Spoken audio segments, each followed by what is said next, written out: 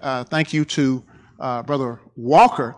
You know, it's something that I've observed. Uh, have, have you all noticed that all of the speakers have finished on time?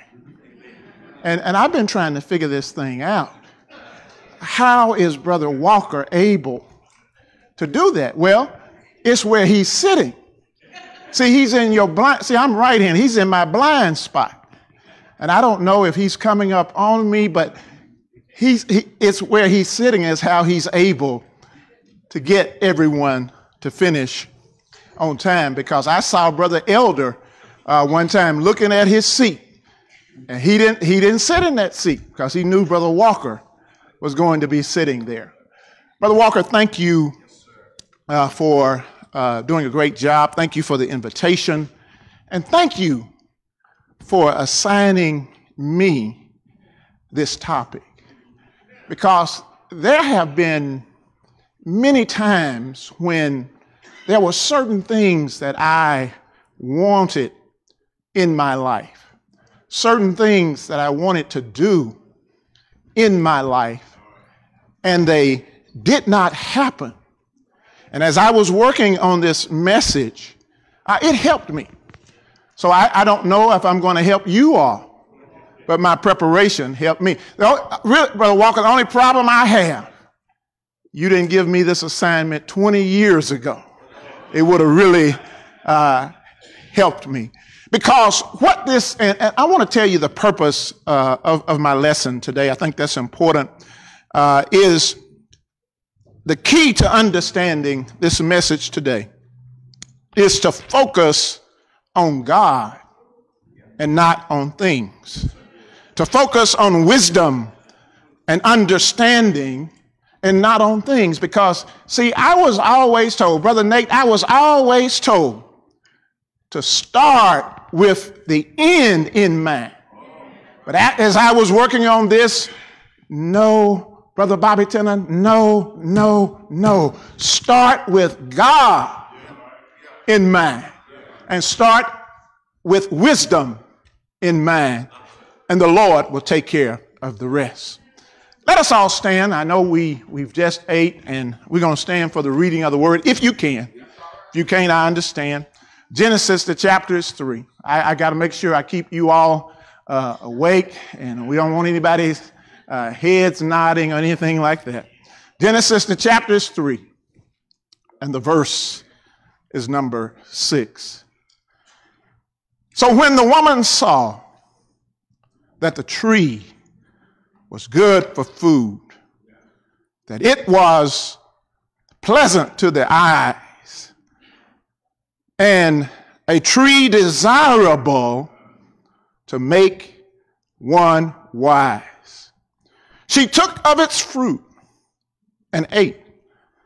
She also gave to her husband with her and he ate. You may take your seats.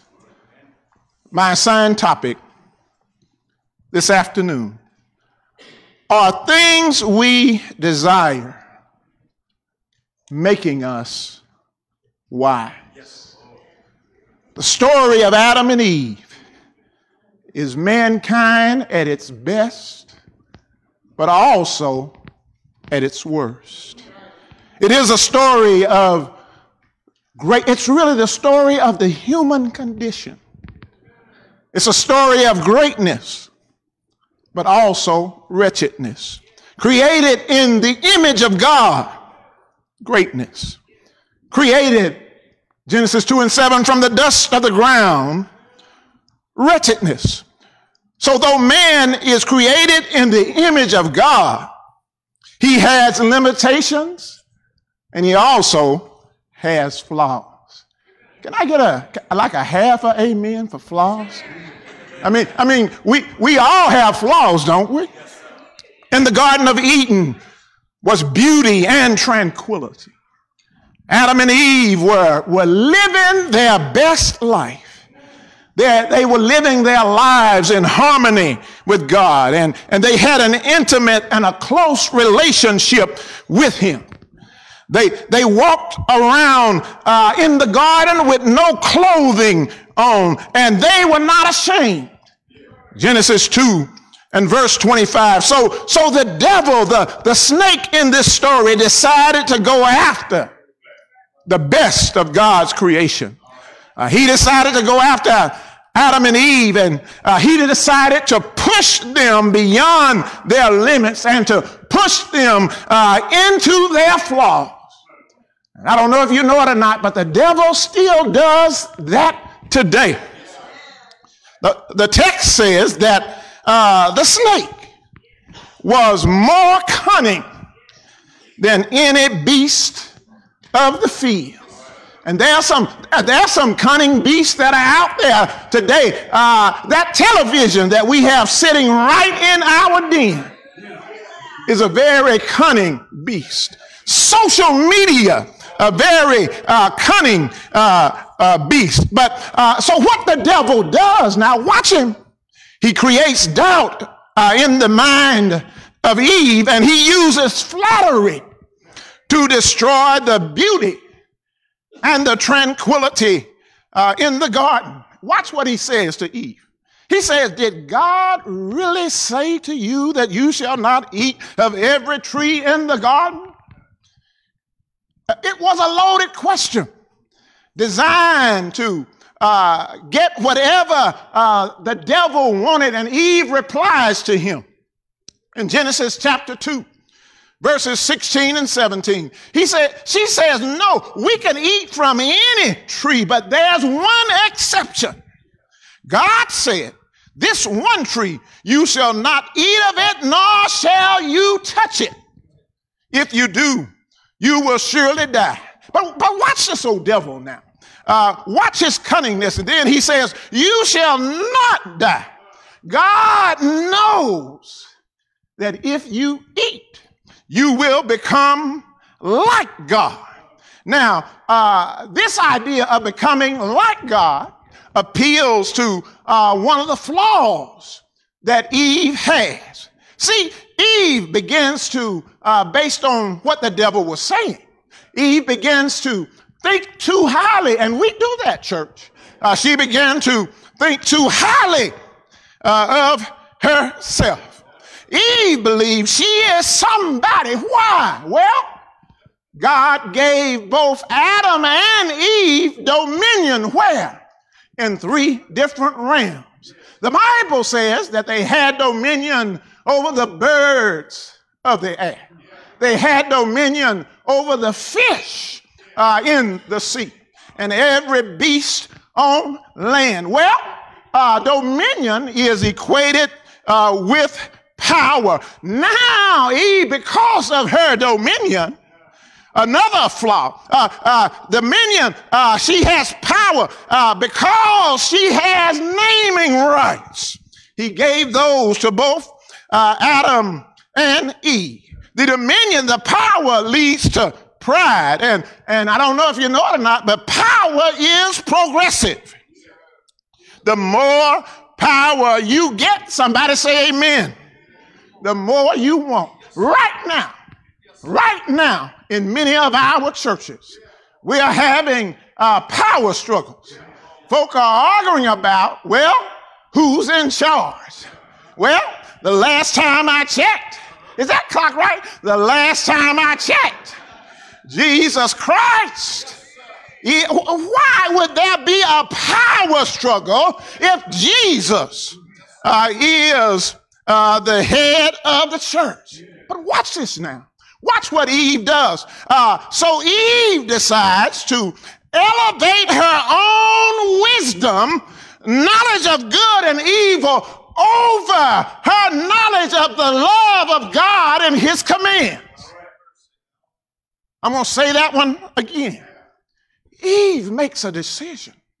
She decides that I'm going to elevate my own wisdom, knowledge of good and evil, because that's the case that he presented to her. Knowledge of good and evil over her love for God and his commands. Anybody in here remember Jesus in John chapter 14 at verse number 15? What does Jesus say? He says, if you love me, do what? Keep my commandments. Eve now is primed to go beyond her limits, caused by uh, 1 John 2 15 and 16, the lust of the flesh, the lust of the eye, and the pride of life. Well, there are three things that I want us to focus on this morning. The question, uh, this afternoon rather, are the things we're desiring making us wise? Well, the three things that we desire that cause us a problem, Brother Warner. Number one is power. Somebody say power. Oh, y'all can do better than that. Somebody say power. Number one is power. Yeah. We desire power. We attach ourselves to power. Brother Walker doesn't know it or not, but he's sitting in a seat of power. He's sitting over on the right side. I'm not saying he's desiring power, but that's the seat he's sitting in. Number two, uh, the things that we attach. See, the problem is attachment. We attach ourselves to power, number one. We attach ourselves to possessions, number two. And then the third thing that we attach ourselves to is pride. Uh, in other words, uh, so do the things that uh, we desire make us wise. Well, in one word, no. But let me tell you why. It's attachment. Attachment to these things. Let's, let's look at power. Um, I don't have time to go into it real deep. But if you go to 1 Kings chapters 1, 2, and 3, you remember David had gotten old and he had not selected somebody to take his place. Well, he has two sons, doesn't he? Adonijah uh, and also Solomon. Now, uh, Absalom, uh, the oldest boy, is already dead. So what is? So there's a, a power vacuum that is created. So what then happens? Both of them, Adonijah had his group. Solomon had his group that wanted him to be king. So finally, Solomon, watch this, watch this. Solomon had to kill his own brother to protect his place uh, in the kingdom. But the thing that I like about Solomon is this, however, he was humble enough uh, to ask God, not in his prayer in chapter 3, not for power, he asked God for wisdom. First Kings chapter 3, verses 9 and 10. But, oh man, and I, I love my God. Watch my God. Oh, so Solomon goes to him. He says, Lord, I don't know what I'm doing. God came to him uh, in a dream and he said, uh, Solomon, because you didn't ask for riches, because, see, that, Brother Walker, that was my problem. See, I was focused on the end and not focused on the Almighty God. He says, because you have not asked for power because you have not asked for chariots. He said, I tell you what I'm going to do. I'm going to give, Brother Bobby, oh man, I don't know if we understand what I'm talking about. God said, I'm going to give you what you did not ask for. Any evangelism program will thrive if you talk to people about the things that God has given you. Man, is evangelism a bad word? Let me say that again. Any evangelism program will thrive if you tell people what God has given you and you did not even ask for. Well, Brother Berry, what's the problem with pride? Well, pride corrupts. You don't believe me? Look at the political climate. I don't, I, I don't have time uh, to go into it. Plus, I make probably half of y'all in here mad at me. Uh, but po- look at the political climate. Power corrupts. The more power you get, the more you want. Power sometimes is easy to get, but to keep it, well, in order for Solomon to keep his power, he had to cut a deal with Egypt. He had to kill his brother. Somebody said, Well, Brother Berry, what about All that killing. Well, that's what made David famous, you remember. Saul had did what? Killed his what? Thousand. Uh, and David killed what? His, t- if you are a monarch in those days, you were going to have to kill somebody. Power will isolate you. You don't know if people like you because of your power or they like you because of you. Let me move on. Because, man, this Arizona time is faster. Lord have mercy. Uh, the next thing, the next thing uh, is possessions. Do you remember the story of the rich young ruler? Matthew chapter 19, verses 21 and 22. Jesus said, if you want to be perfect, go and sell what you have. Give it to the poor and you will have treasure in heaven. But the thing that we always forget about in those days, if you were going to be a disciple, brother Mike, you had to go and follow Jesus. You had to give up everything and follow Jesus. Well, the Bible says that the rich young ruler uh, became sorrowful. Why? Well, he had kept all of the commandments. But, and, and, ooh, and I don't even really have time to get into, because see, those commandments were only the ones that related to man. The ones that relate to God were not even in there. But, but, but, but, but the Bible says he was too attached. Attached. Brother Walker, attachment is the issue.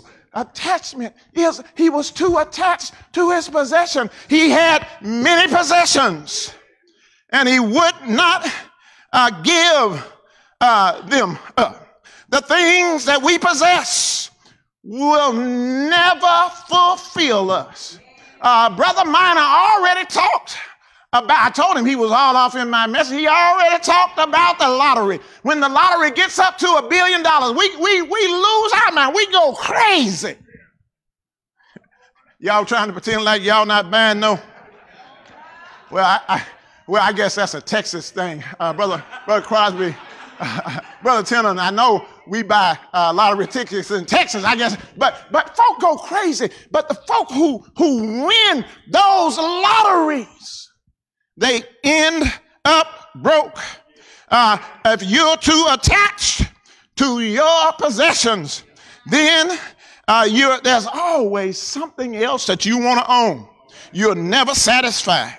Uh, and then the third thing, as I get ready to close this out here, the third thing, then uh, the first one was power. The next thing uh, was possessions. And then the last thing was pride. Eve's pride caused her to want to be like God, knowing both good and evil. So what she did, she elevated herself. And see, we can easily think uh, too highly of ourselves. And not only that, watch this, ladies. She convinced her husband. Uh, she took the time to communicate with him. And man, I wish I had time uh, to deal with communication. You know, you know, oftentimes many folk uh, communicate to uh, manipulate. Woo. they, they communicate, let, let, me say that over here. Uh, many people communicate to uh, manipulate and not understand. They'll call me, they say, Brother Berry, are you busy? And I'm saying now, Brother Elder, how do I answer that? Am I, yeah, that's right, yeah, I'm busy. Well, but, but see, they just gonna come out and say, Brother Berry, can you do this for me or that for me, and I'll do it.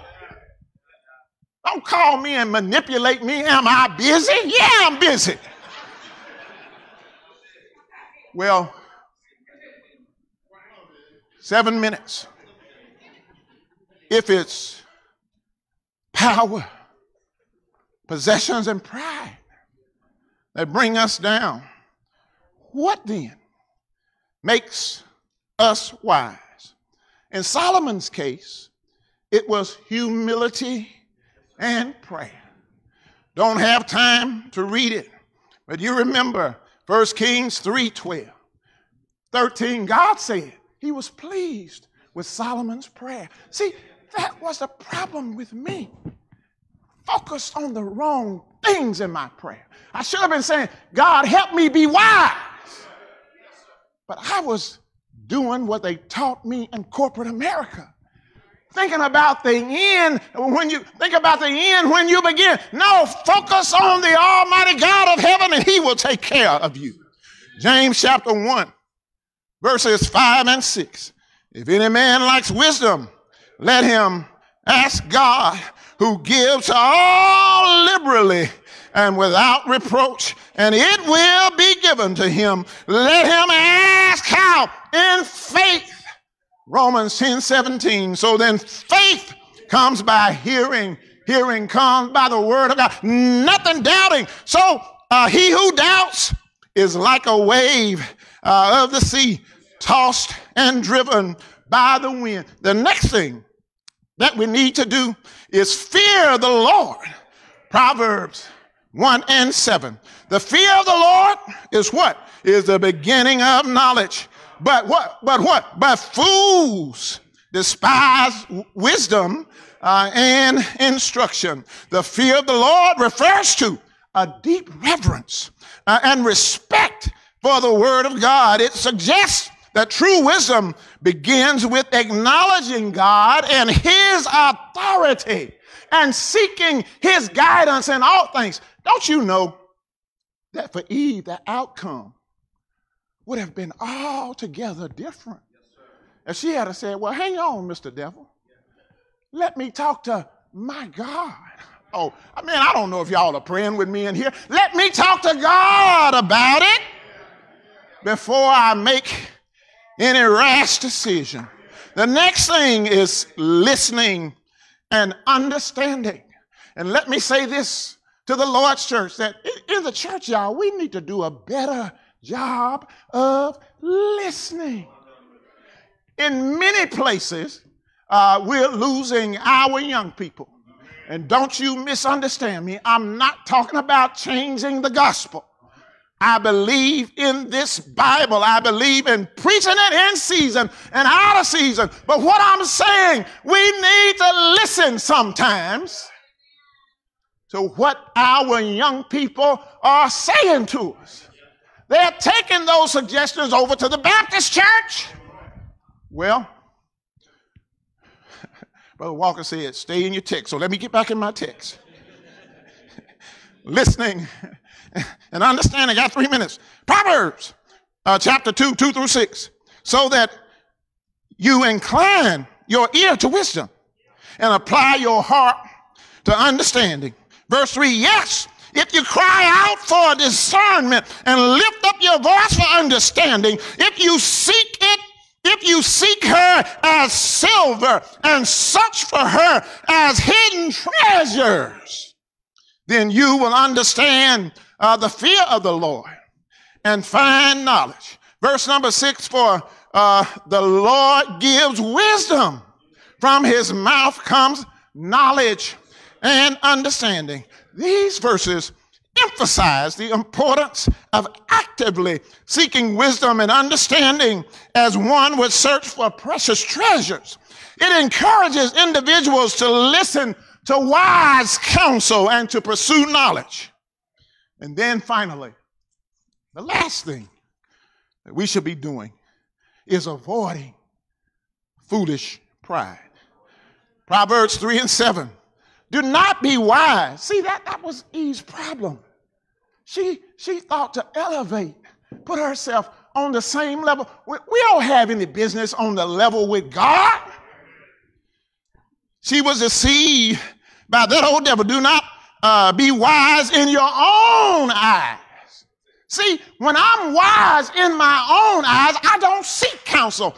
Brother Walker, that was my problem. When I started in the pulpit, I thought I knew it all. Yeah. After all, I'm the preacher around here.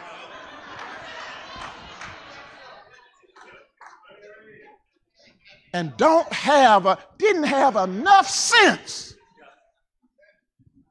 to ask somebody. about some of this stuff that was coming at me. That's how you tear up churches. We must learn how to seek counsel. Uh, find somebody. My, my time is gone. Find somebody that you respect. Get yourself a mentor. I, I, mean, I mean, even if you just uh, you just want to call them and just just talk stuff through with them sometimes. Uh, we we must learn to do that. But this old devil, he didn't learn his lesson. Um, he went after Eve, Adam and Eve, and seemingly he won. But then in Matthew chapter 4, he went after my Lord and Savior, Jesus Christ.